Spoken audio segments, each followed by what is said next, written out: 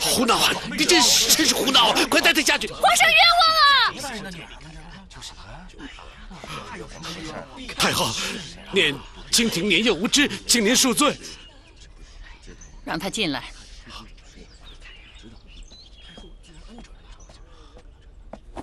民女参见皇上。哎呀，清廷姑娘，你有什么事儿，你到扬州府告去啊！民女所告之人，官府不敢受理。清廷，不要再说了，快下去。你要告谁呀？民女要告当今太后。太后恕罪，她实在是一时糊涂啊。皇上，你审吧。啊，呃，太后，这这件事情，今天也该了结了。审吧。哎，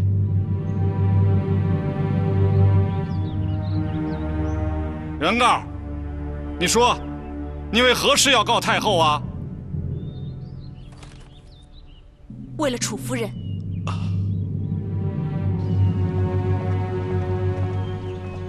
小白守住小口。这。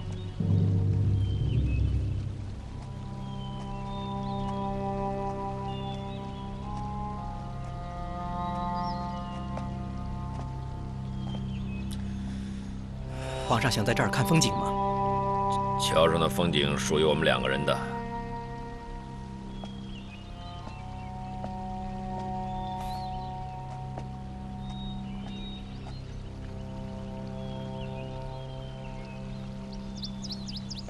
朕当年就是在这儿看见楚夫人的，她驾着一叶扁舟就从这桥下经过，朕惊为天人，吩咐地方官一定要把这个女人搞到手。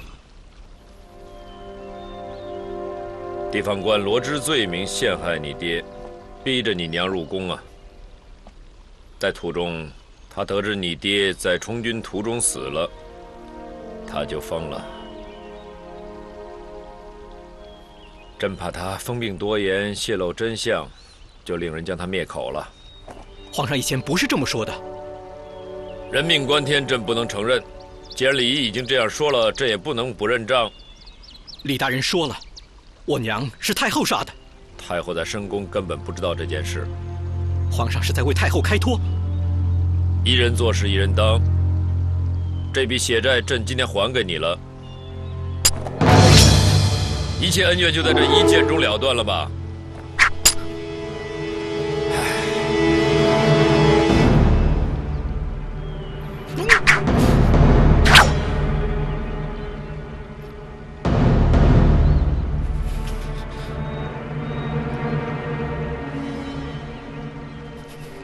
下手啊！你娘在天之灵看着你呢。你三番五次行刺皇上不成？机会来了，为什么还不下手啊？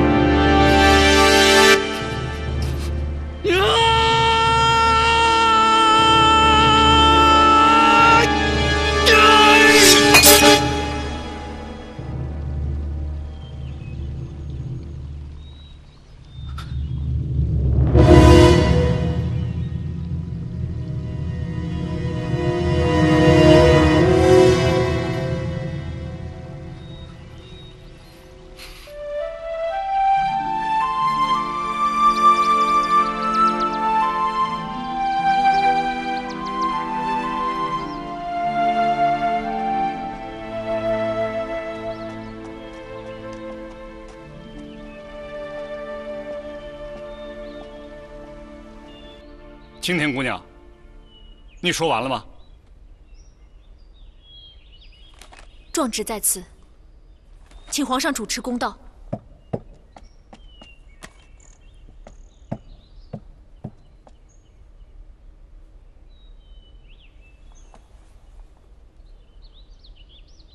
太后，已经审完了。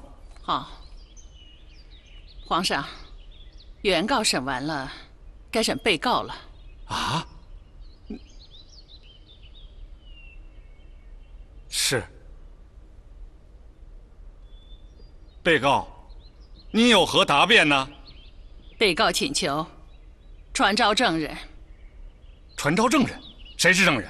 和珅。不，太后不不不不不啊！和和珅，起来说吧。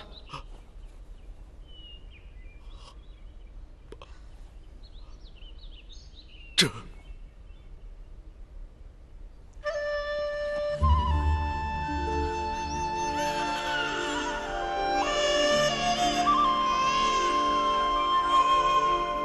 太后，这是楚夫人的孩子，他不是已经被灭口了吗？他入宫的时候已经有四个月的身孕了，哀家不忍心。太后，我把他藏入冷宫，皇上没有发觉。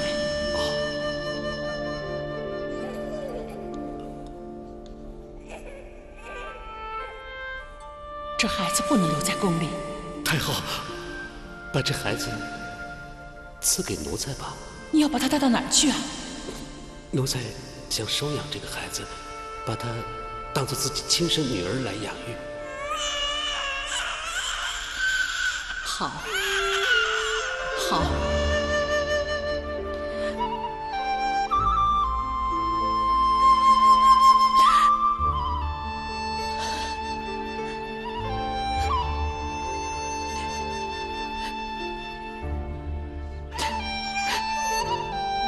请听，楚夫人这件事，李仪对不起你，大清皇室对不起你，唯独和珅，他没有对不起你。